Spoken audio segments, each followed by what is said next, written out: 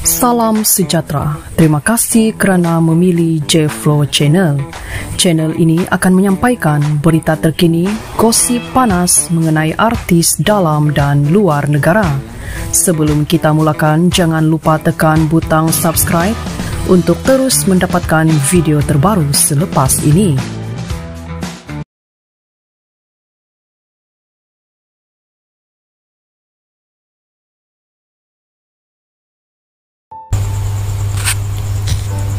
Hampir tiga bulan mengunci mulut pelakon yang juga usahawan Ebi Abadi akhirnya mengesahkan pernikahan anak perempuannya Marista Dania Hakim dengan Muhammad Aslam di Songla, Thailand pada Disember lalu.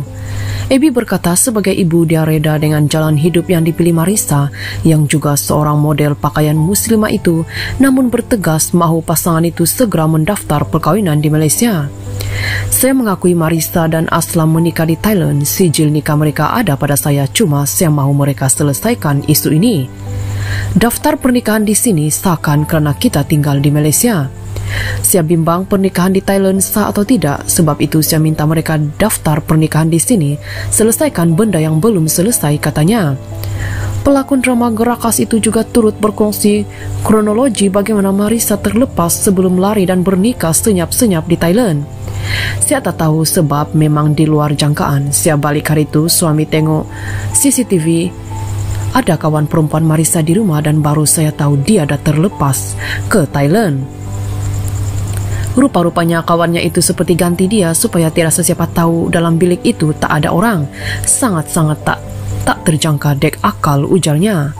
Ebi hanya mengetahui maklumat mengenai keberadaan Marisa di Thailand selepas mendapat bantuan daripada rakan polis. Dia mengakui sudah reda dengan pernikahan tersebut dan percaya setiap yang terjadi adalah ketentuan dan takdir yang sudah ditetapkan Tuhan.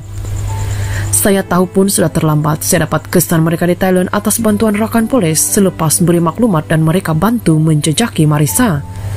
Saya hubungi anak tetapi tidak dapat mungkin telefon bimbit ditutup. Sebagai ibu, saya harap semua ini tak berlaku dan cuba menidakkan perkara ini. Tidak sah tetapi siapalah saya kalau sudah Allah kata itu yang terbaik untuk mereka jelasnya. Terdahulu nama Marisa kembali menjadi bualan ramai pada Januari lalu selepas Aslam dikatakan sudah bernikah dengan Marisa di Songla, Thailand pada 27 Disember tahun lalu.